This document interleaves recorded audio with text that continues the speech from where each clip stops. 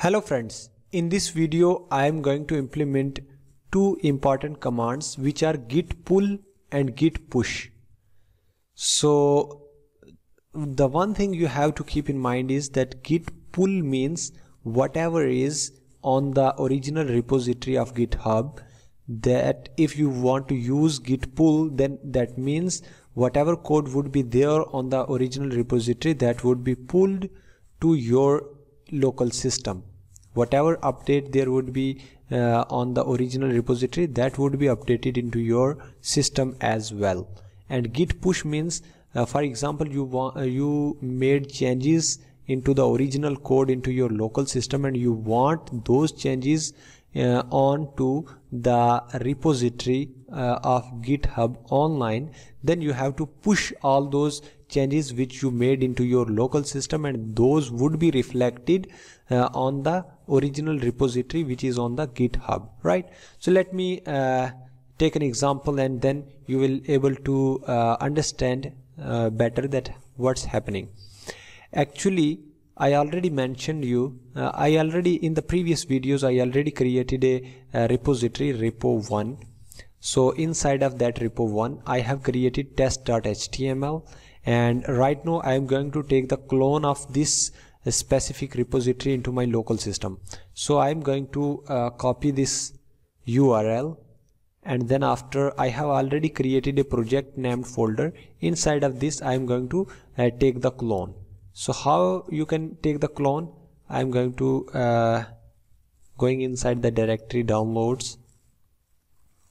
Then after I have created project named folder and inside of it I am going to take the git clone. Git clone means the whole repository would be copied into my local system. So I am going to right click here paste here and press enter. So the whole repository would be cloned into my local system. So now if you will see uh, inside the project you will find repo1 inside of repo1 we have test.html file which was already on the repository right? So what I'm going to do is I'm going to implement the uh, uh, git pull command right? So what I'm going to do is I'm going to create a new file here. For example uh, this file name is example.html right and inside of it I'm going to write some code.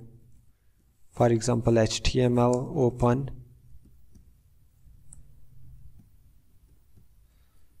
HTML closed. And I have some head tag. And inside of that head tag I have a title. Title open and title close and I'm going to write here example and then after I have the body tag and inside the body tag I want to add some content. For example I have a head tag and inside of head tag I am going to write this is example right? So now I'm going to commit all these changes directly from the repository. Commit new new file. So this file would be saved into my repository. So right now you can see that there are two files into my repository example.html and test.html but in my local system if you will see in my repository uh, you will definitely find that only single file is there. So how we can uh, we can uh, make available the bunch of files which are on the original repository online but not available in uh, our local system. So here is the simple command for that which is uh, firstly ah, yeah git pull. This is the simple command. Once you will press enter okay here is certain okay okay actually we need to go inside the repository. So cd repo1 right? So inside the repository we go uh, we are going to execute this command git pull. So once you will press enter you will find out that all those changes has been uh, added into our local system. What does changes means? Means uh, the file new file created or might be there are certain files in which you have changed some code. So all these things would be added into your system. So now if you will see definitely the yes of course. Inside the repo1 folder you have two files available. Example1.html and test.html right? So that means that using git pull you can make available all the code which is on the original repository of github online and uh, that would be uh, that by using that git uh, pull command you can make uh, that code available to your local system right? So now uh, we are going to uh, implement the concept of git push. So i think you understood the concept of git pull.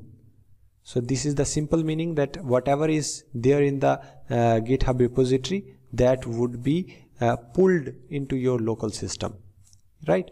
And then after there are few commands which are uh, attached with git push so let me execute all these. So first example i am going to uh, modify this example.html file right? So i am going to add a new line and i'm writing here added new line right? And going to save this. And as you know that these changes are only into my local system not on the original uh, repository. For example you want to see that code into the original repository. Once you will open example.html you will find that only single line. This is example not uh, the other line which we have added into our local system. So how we can make it happen that uh, the local content the local file content uh, should be pushed into the or original repository so that process is actually called git push right? So here is the command prompt. I'm going to uh, clear the screen. And what i'm going to do is git status. Firstly i am going to check the status. So the status is showing me that change is not stacked for commit.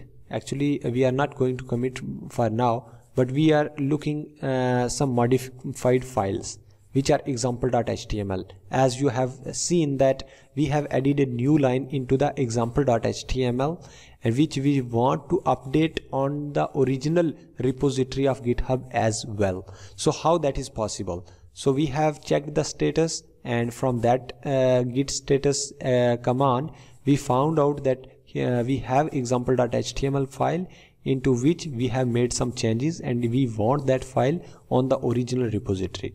So how we can make it happen? Here is git add right?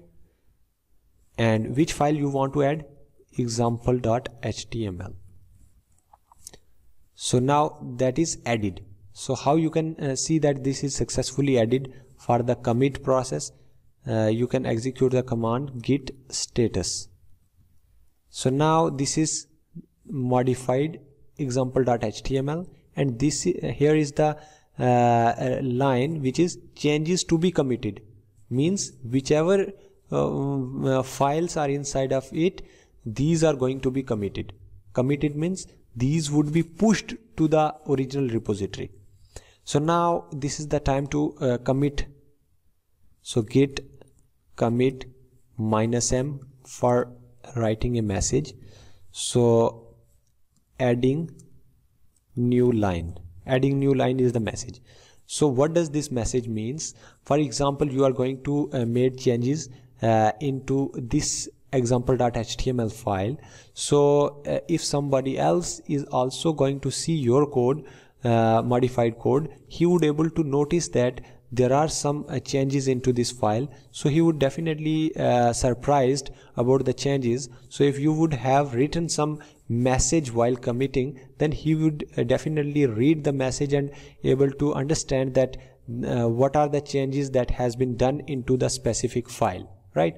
So in the larger projects there are uh, certain features that are added by the different developers. So um, uh, each developer could able to understand by looking on these these messages. Uh, so they could understand that uh, what's happening into the repository right? So I am pressing enter and yeah uh, one file change one insertion. So up till now there is not any change onto the original repository. You will definitely find out that this is example there is nothing in the second line. But we have already we actually uh, have the file in which we have added a new line. But that is not on the system. So we are going to execute git push command. Git push.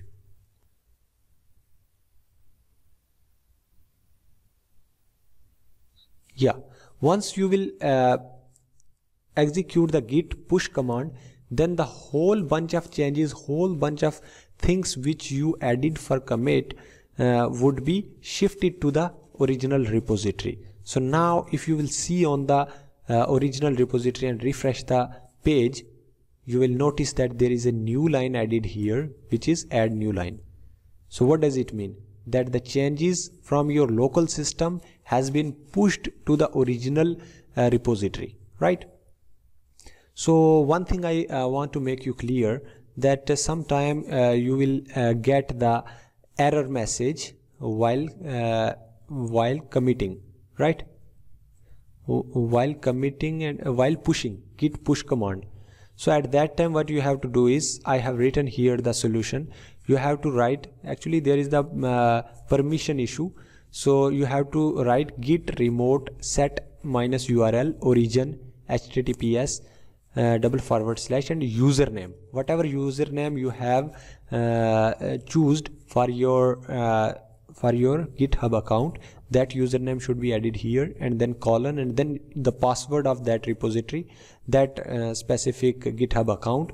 And then at the rate github.com and uh, exact this is the exact url uh, of your uh, cloning repository right so this would be not this would not be changed right?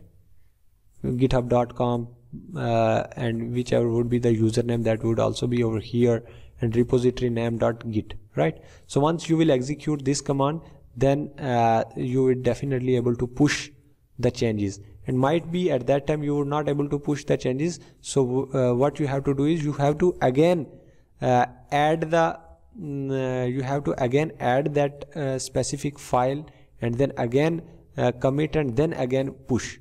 Means the three commands you have to repeat. Git add git commit and git push right? If you are uh, facing issue in git push. Otherwise it's okay. So I already uh, done all these changes. So here uh, you have uh, seen that I have implemented two commands git pull and git push so git push is attached with three more commands which are git status git add and uh, git commit. So these are the three basic commands which are really important while pushing the code.